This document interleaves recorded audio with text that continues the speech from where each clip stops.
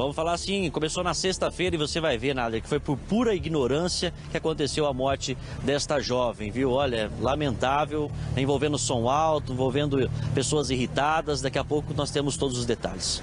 Já já, então, a gente volta com essa história. Agora tira o Evandro, coloca o Igor, porque uma mulher foi parar no hospital. Foi o assunto que eu falei agora há pouco, depois de ser espancada pelo companheiro. Você viu que eu falei com o Evandro a quantidade de casos de mulheres vítimas de violência. Igor, traz detalhes desse caso pra gente, pra gente entender melhor toda essa história.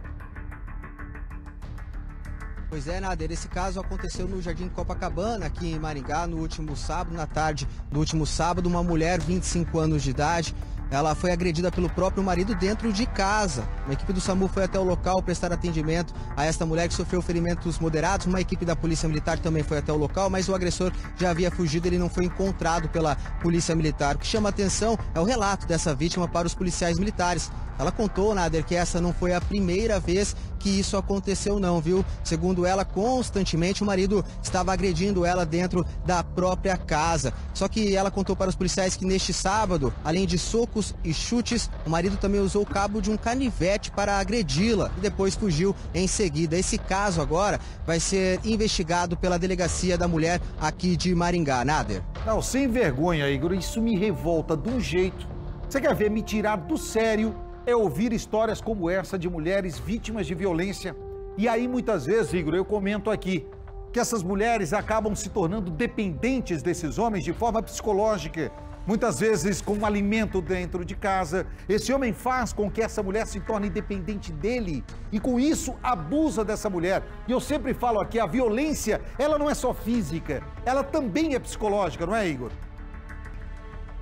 É verdade, Nader. O que, o que vai trazer o benefício para essa mulher agora, que as leis agora, ela protege ainda mais essas vítimas de agressão dos homens, né, dos maridos, companheiros, porque mesmo se a vítima retirar a queixa, a, a promotoria pública continua com a acusação e esse agressor vai responder judicialmente e pode até acabar sendo preso, viu, Nader? É o que a gente espera que aconteça nesses casos. A gente espera, na verdade, que as vítimas tomem coragem. A gente sabe que muitas mulheres acabam recuando, justamente por isso que você acabou de falar, né? Não é só violência violência física, é psicológica, mexe com a cabeça dessas vítimas, deixa algumas mulheres, várias mulheres, né, a maioria delas, com muito medo de fazer essa denúncia, de acontecer alguma coisa depois, e as mulheres acabam dando um passo para trás e não fazendo essa denúncia, que é muito importante. A polícia cobra isso, venha denunciar, porque a polícia vai atrás, vai tentar encontrar e prender, porque esses agressores são covardes, né, nada? Eles acabam fazendo esse crime e fugindo em seguida, eles não ficam dando a cara, é machão na hora de bater, é, mas acaba não sendo tão machão assim na hora de correr da polícia polícia, né? Agora a vítima foi até a delegacia, ela registrou o boletim de ocorrência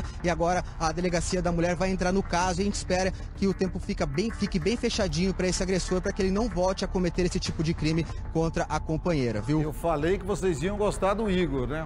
Eu falei que nós íamos ter uma contratação de peso. O nosso time agora chegou para ganhar definitivamente o campeonato. Igor, posicionamento como o seu é o que a população quer. Nós queremos que a nossa sociedade tenha uma sociedade justa. Parabéns pelo seu comentário. E se você, mulher, é vítima de violência, não acredite que você é dependente dele. Você pode sim viver sem esse homem. Você não precisa ficar ao lado de alguém possessivo, doente, que lhe ameaça, que bate em você, que agride você e sua família, ou que torne essa convivência uma dependência que não é sadia. Isso não é amor. Acredite não é amor. Você não precisa ficar ao lado de um homem assim.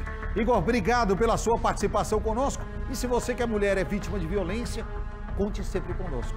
Pode ter certeza que você vai ter aqui pessoas que vão ouvi-la e vão tentar ajudá-la sempre, a qualquer momento.